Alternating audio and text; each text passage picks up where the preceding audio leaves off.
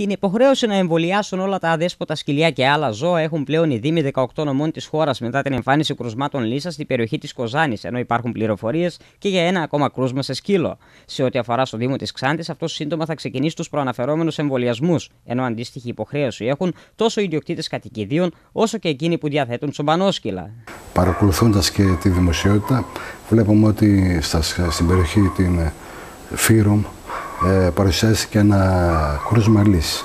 Τέθηκαν όλες οι υπηρεσίες, ε, κτηνιατρικές υπηρεσίες σε επιτήρηση και δυστυχώς εμφανίστηκε πριν δύο μήνες ένα, σε ένα μια λεπού με τα κοντά στα σύνορα ε, στην περιοχή της Κοζάνης ε, ε, Φλωρίνης κάπου σε εκείνη την περιοχή ένα κρούσμα βρέθηκε θετικό μια λεπού η οποία είχαν σκοτώσει.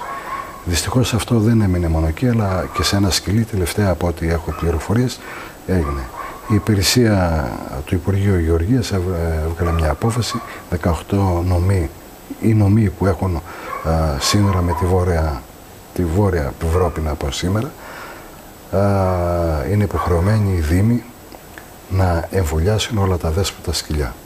Εδώ και καιρό εισηγήθηκα στην Οικονομική Επιτροπή να πάρουμε ορισμένα εμβόλια. Πράγματι ε, υπήρχαν κάποιες ε, προβλήματα με τις ε, καταλήψεις, με τις απεργίες και προχθές την Παρασκευή πήρε απόφαση να απαρθούν τα φάρμακα αυτά.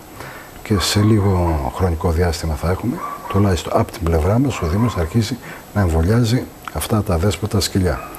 Βέβαια το ίδιο πρέπει να κάνουν όλοι που έχουν τα κατοικίδια, είναι υποχρεωμένοι να έχουν, ακόμα αυτοί που έχουν τα τσοπανόσκυλα είναι οι υποχρεωμένοι ιδιοκτήτες να κάνουν τους εμβολιασμούς. Να σημειώσουμε πως τα εμβόλια αυτά δεν επιχορηγούνται από την πολιτεία, η οποία απλά επιτηρεί και παρακολουθεί την υλοποίησή τους, παρόλο που πολλές φορές έχει ζητηθεί κάποια ενίσχυση ώστε να είναι για τον καθένα πιο εύκολο να εμβολιάσει το ζώο του.